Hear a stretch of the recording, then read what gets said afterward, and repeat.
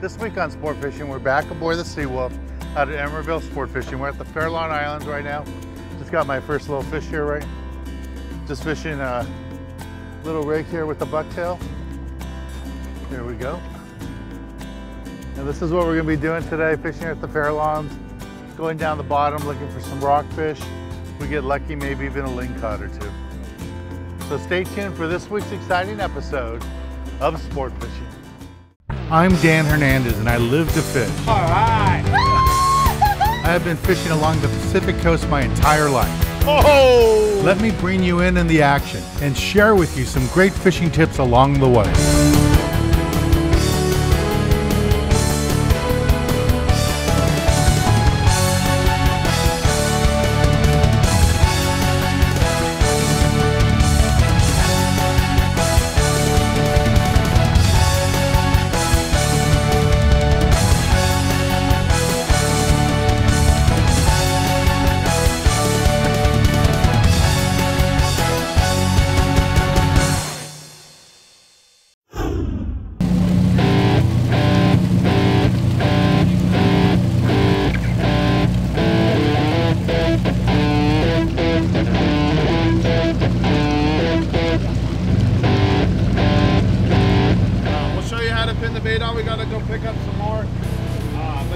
Right near the bottom. The rockfish are gonna be hanging out right near the bottom uh, where we're fishing today.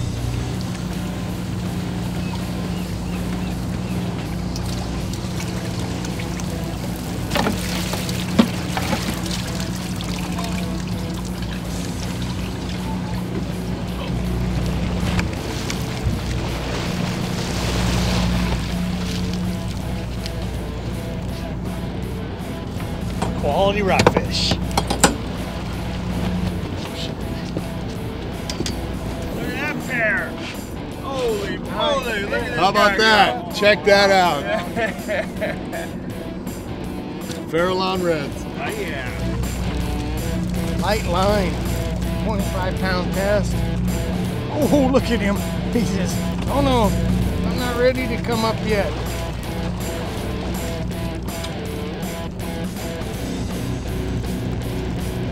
Oh yeah, there's a nice, nice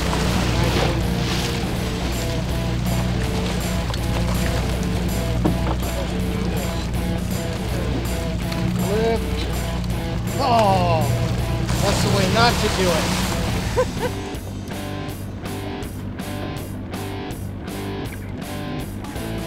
Pull that out.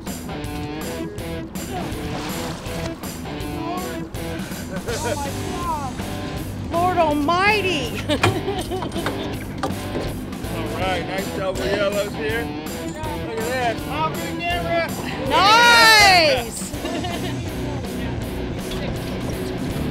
Big copper. Nice copper. Yes. See, babe, you're not the best fisherman in the house. Nice canary rockfish for Robert here. Thank you, sir. Yeah, nice one here at the Farallons. What do we got? Two? We got a double. There we go. There's a nice double. Yeah. Yeah. Looks like. That, that Little help. Oh, okay, I was using his rod up to that. Hey, on the Seawolf with Dan Hernandez. Uh-huh. Yellow. Nice. Nice fish. Thank you. On the Seawolf with Dan Hernandez.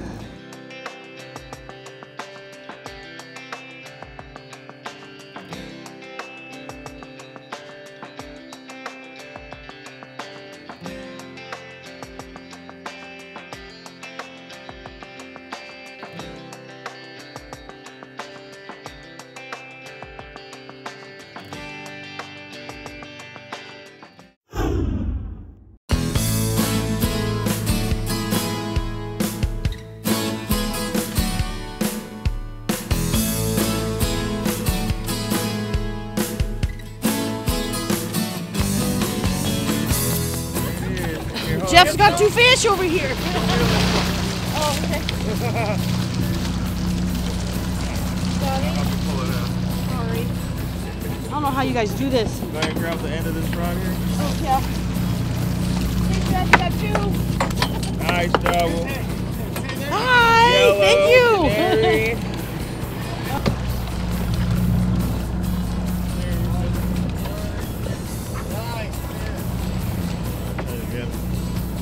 Go, another nice canary. Quality right there. oh, big double.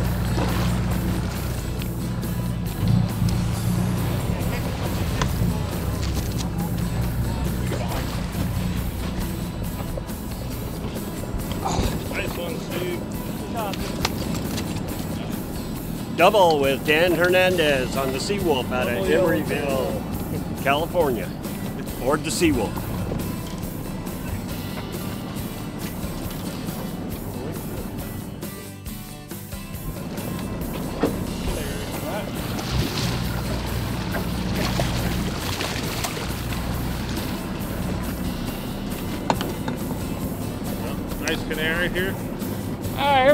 Fishing with Danny, Emeryville. Nice fish right there. What is that called? Canary rockfish. Canary. There he is. Nice fish. Okay.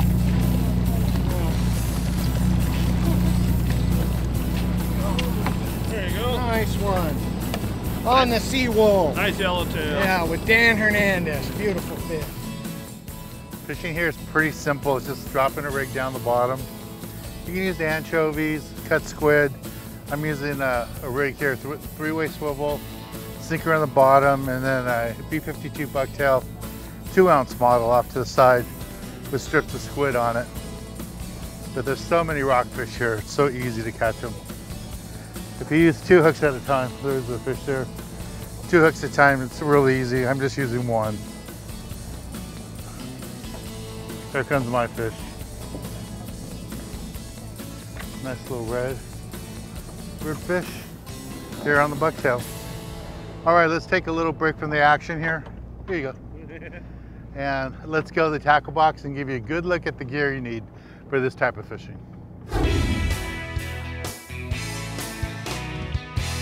This week in the tackle box, I want to talk to you a little bit about rock fishing. Again, it doesn't matter if you're fishing out of Emeryville or down in Oxnard, it's all basically the same technique. Now, when you're fishing for that shallow water rockfish, don't be afraid to use something like this, a 400 size level one reel, nice medium heavy action rod, something you can fish to 100, 150 feet, no problem.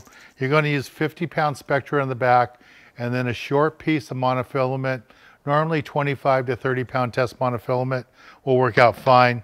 In that deeper water fish where you're fishing right now in about 150 to 200, 300 feet, this will work out fine. 3.0 reel, 50 to 65 pound Spectra, and then on top of that, 40 pound monofilament.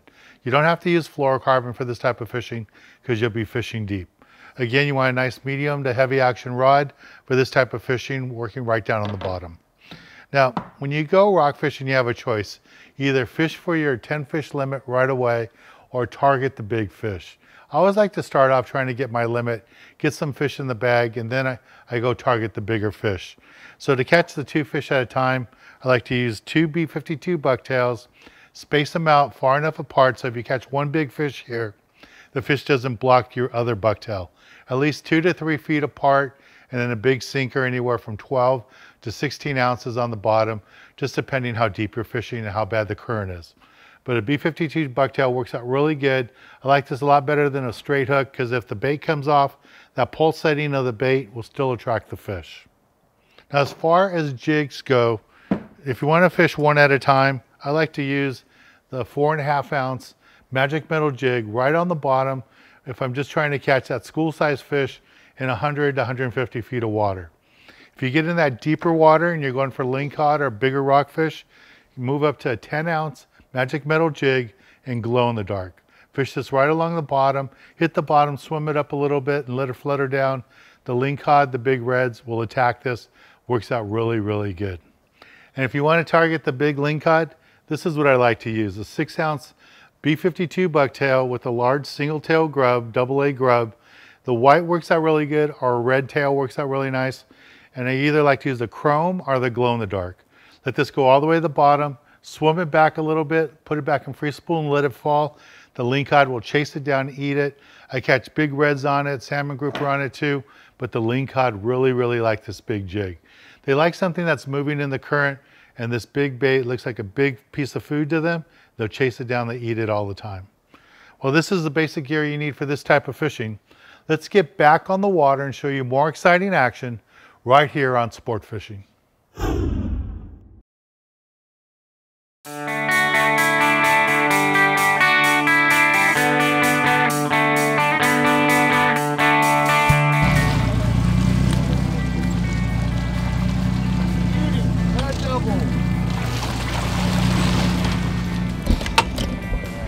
Oops, sorry, sir. Here with Dan Hernandez catching some fish.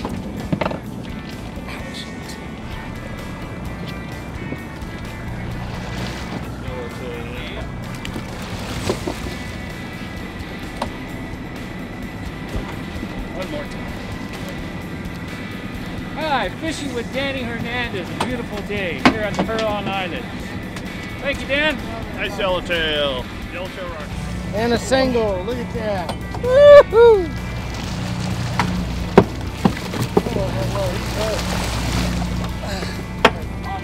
Another one. Nice.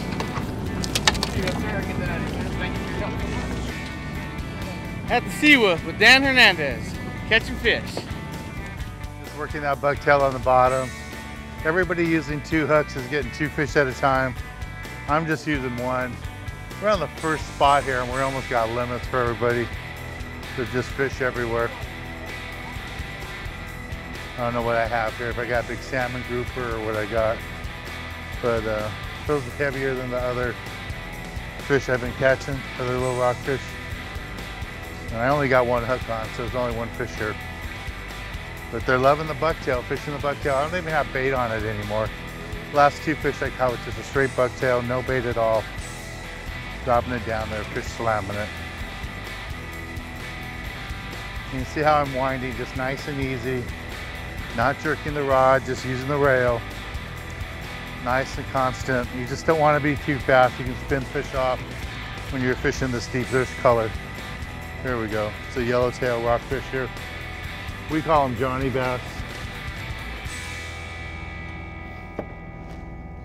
For us in Southern California, we call these Johnny Bass. And up here they call them yellowtail rockfish. That's a bucktail right there. See no bait on it at all. Just a beautiful, beautiful fish.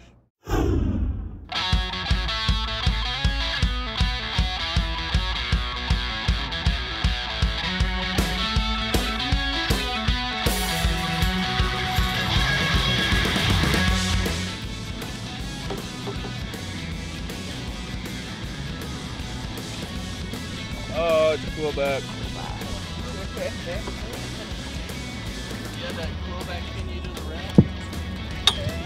Hit hard, huh? Good job, small and cheese and stuff. Yeah.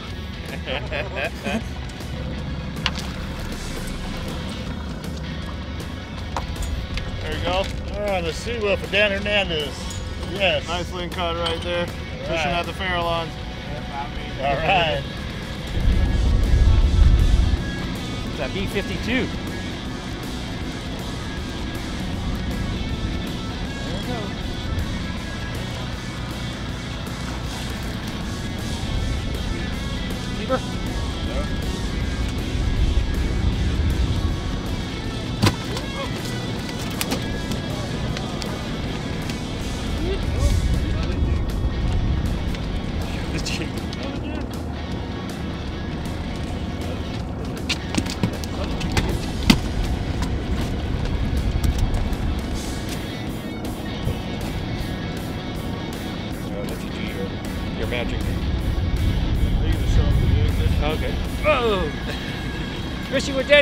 Danny Hernandez, B52, jig.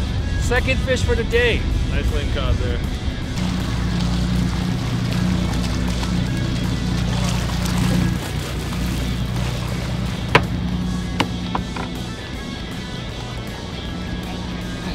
Got another one. Come on, make it. Out here with Dan Hernandez and John, picking up a ling cod.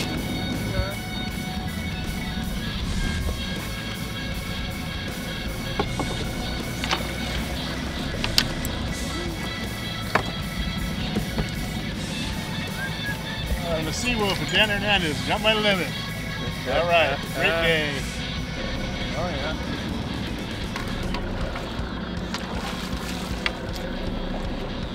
Sweet, look at you go. Yeah, little slide. There. All right. Fishing with Dan Hernandez on the uh, Seawolf. You never know what you're going to catch. Maybe he'll show us how to cook this up in the galleys.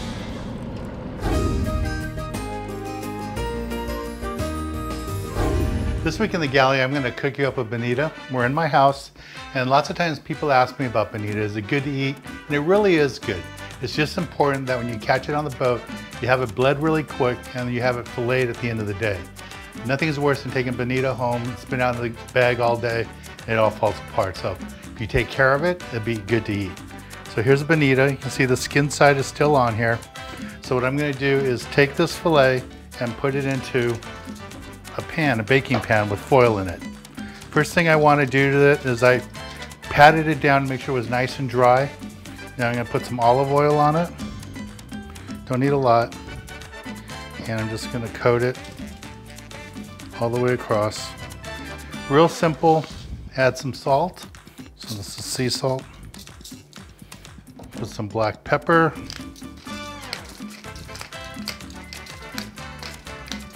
Just because I like it a little bit spicy, add some uh, red chili flakes. So I'm gonna put some of that on here. You don't have to put this if you don't want it spicy, but I like it a little spicy. And then there's this um, spice, Mexican spice. It has like a lemony taste to it. It's really nice to put this on my seafood. Sprinkle it on there. And the last thing I'm gonna add is a little bit of lemon. Put it on there. So now my oven is already at 350 degrees. Go ahead and put this in the oven.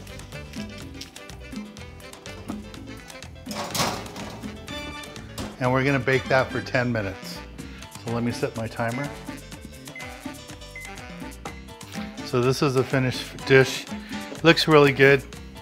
And all I'm gonna do here is just take a little bite. Yeah, that's. That is so good. The one thing with bonita, right down the middle is the bloodline. Stay away from that. That's not gonna taste good. But all that white meat on the outside, it's really delicious. And the whole thing about bonita, like I said, if you take care of it as soon as you catch it, when you cook it like this, it'll be nice and delicious. And as I showed you, I left the skin on it. Just leave the skin on it when you bake it. it comes out really nice. Well, let's get back on the water, show you more exciting action right here on Sport Fishing.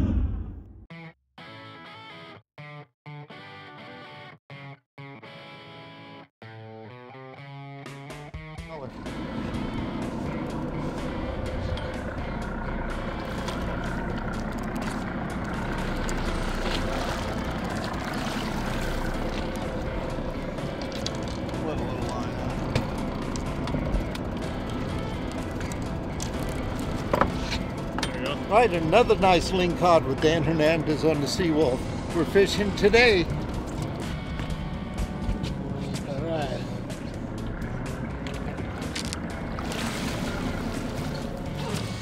Bobby. All right, Nice one. on the Seawolf, Dan Hernandez, beauty. Nice All ling right, cod here. nice ling.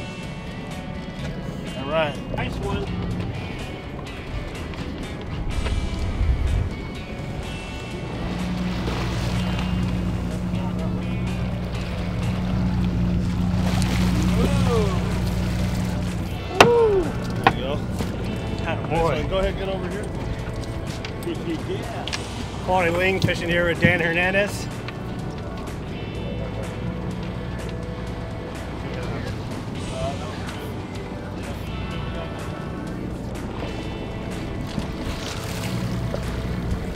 All right, my first ling today, fishing with Dan Hernandez aboard the Seawolf out of Emeryville, California. Doesn't get any better than this.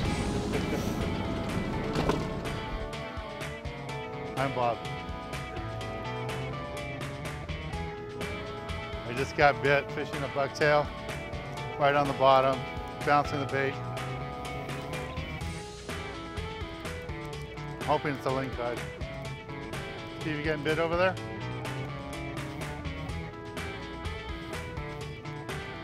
Hopefully I got a ling cod, I don't know. I'm just fishing a bucktail down on the bottom. It felt like a ling cod at first, the head was shaking. Doesn't feel big now. Oh, there it goes. I just saw the boat. I need a gaff. Just flying nice and easy. There it is. Cod.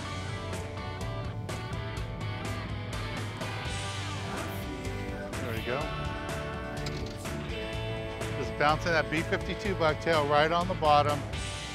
And that ling cod came up and ate it. Not the biggest fish of the day, but a nice ling cod. And that glow in the dark six ounce worked out really good. All right, we're gonna take a little break on the action here on the board of the Seawolf. And when we return, I'll be giving you this week's tip of the week.